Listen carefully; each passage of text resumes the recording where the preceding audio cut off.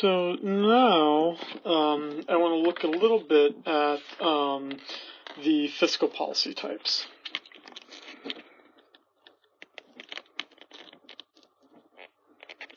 And there's kind of two distinguishing ways that we're going to think about um, these policies. So expansionary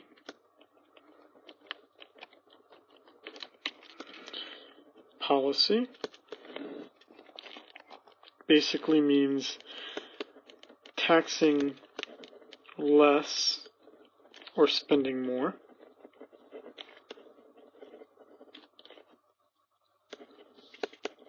In order to, so why are you spending, taxing less or spending more? You're doing that to grow the economy. On the other side, contractionary fiscal policy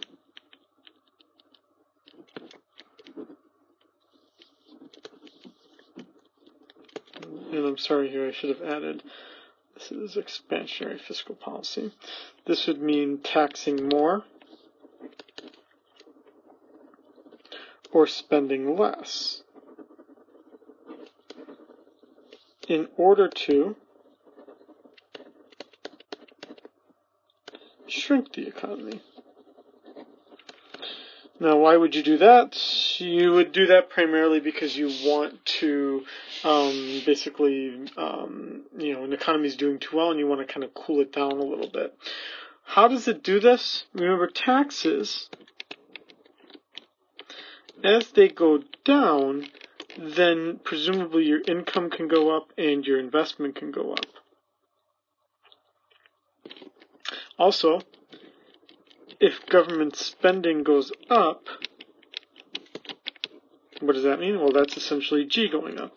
Remember, these are all components of GDP, which equals C plus I plus G plus NX.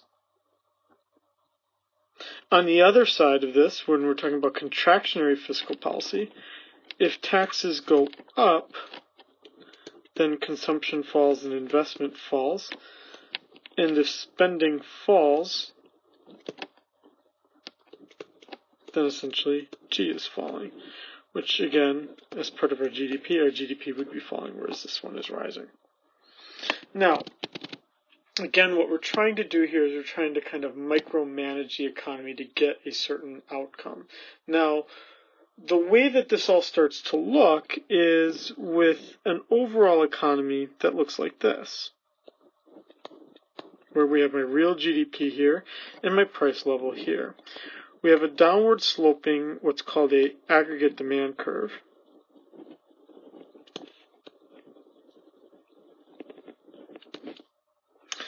And we have what's called a SRAS curve, which is my short run aggregate supply.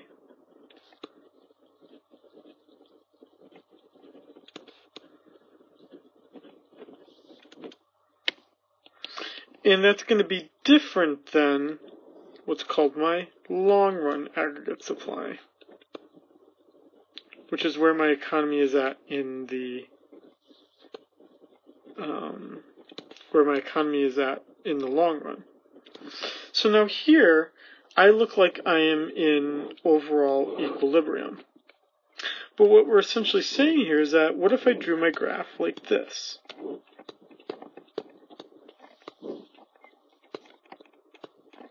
This is what's called a recessionary gap. It's called a recessionary gap because my short run equilibrium is to the left of the long run. What would you want to do? You would want to engage in expansionary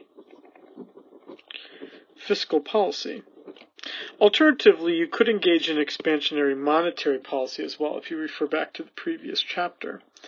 But the idea here is that you're then going to shift out the aggregate demand curve, which equals basically my GDP, which is equal to C plus I plus G plus NX, because now GDP is higher. So we'll call that GDP prime, which is higher because my consumption is now higher. We'll call that C prime plus I prime because this is higher. Or alternatively, my government spending is higher. And now I've moved my economy to the long run. Alternatively,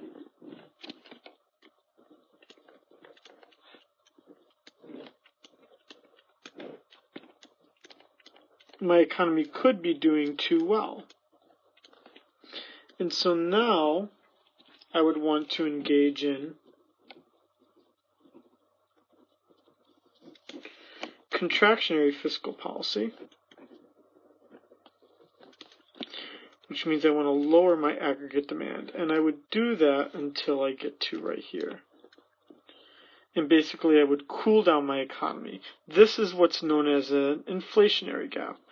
It's called an inflationary gap because if you don't do anything, the economy will move on its own to much higher prices. So you, if you, the reason why you want to cool down an overheated economy is an attempt to um, control inflation. Now, this leads to the question of, how do you do this? How do you engage in expansionary and contractionary fiscal policy? Let's write that out. How do you do it? How do you engage in this kind of policy? Well, the one thing you can do is actually do nothing. There's a lot of things that are actually automatic within the um, um, government where spending goes down when the economy is doing well because, quite frankly, fewer people need um, right? Fewer people need um, food stamps. Fewer people might need unemployment insurance, um, and also they're taxing more because more people are working. So the tax system let's call it the welfare system. Many of those things are automatic. They change already. They collect more money or less money, or spend more money um, or spend less money based on how the economy is doing. Occasionally, though, you do need discretionary policy, and that means taking specific action. So that would you don't typically do that unless the event happening is really really bad. So the last time we kind of used these things was during the Obama administration, and we did that because the economy was doing so poorly. Um, we don't tend to want to rely on um, discretionary policy, but we'll talk about why that's the case in the next video.